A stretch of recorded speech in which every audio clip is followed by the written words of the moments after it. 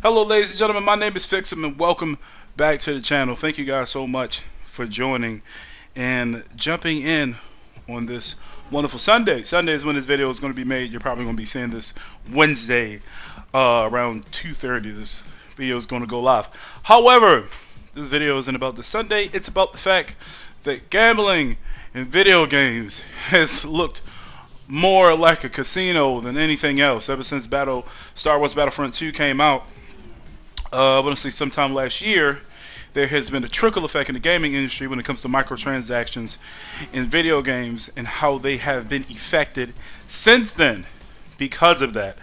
Uh, we, we, we see it in the way how EA had to respond and how they had to talk to um, how they had to talk to Disney about what's going on with the product. We see it with the government in Belgium and other countries and other places that are trying to ban it uh, these in-game microtransactions and loot boxes, or these surprise mechanics, as they would like you to believe what they're called, but we all know that's bullcrap.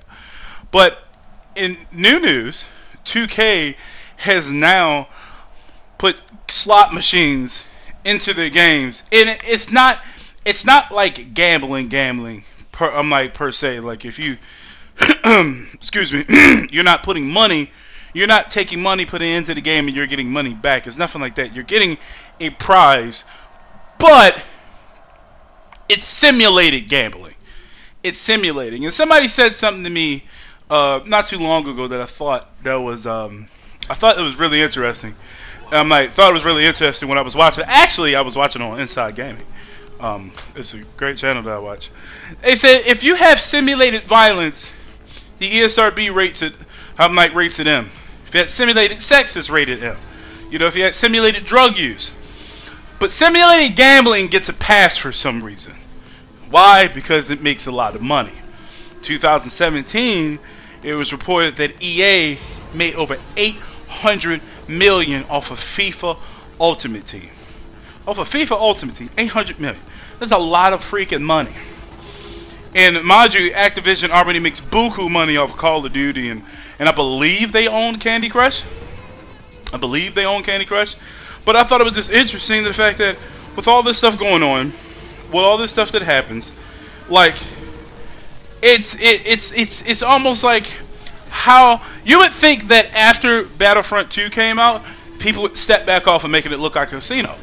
But GTA 5 doubled down on it and they make, created a whole new content which was just a casino. And now 2K is coming out and now they have gambling mechanics and slot machine mechanics in the game, which I thought was interesting.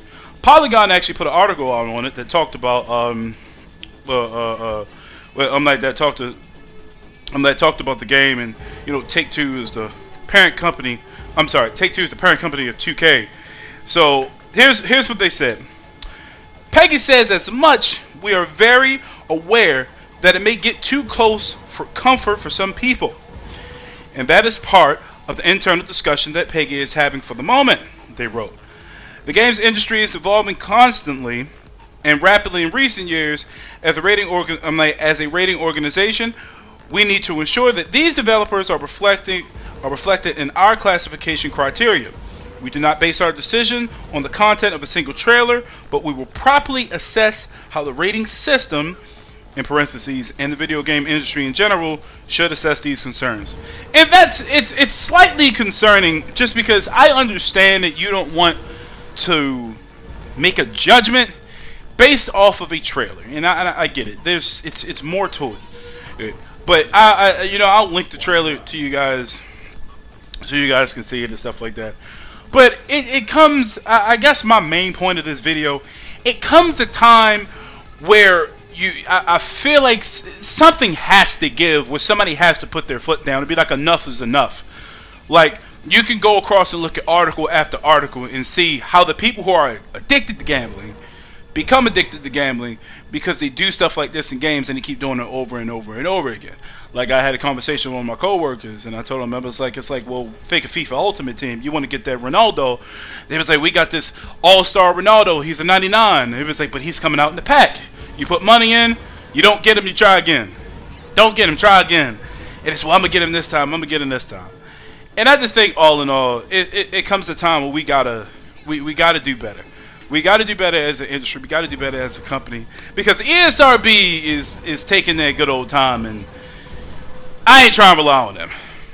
So that's all I got to say. Just wanted to make a short snippet about it. As a community, we need to continue talking about these things. We need to continue to complain, to put these things out on Front Street. But that being said, that's all I have for today. Thank you guys for listening. Continue to be aware. Protect your money. Protect your time. Don't let these people take you them take advantage of you. That's all I got.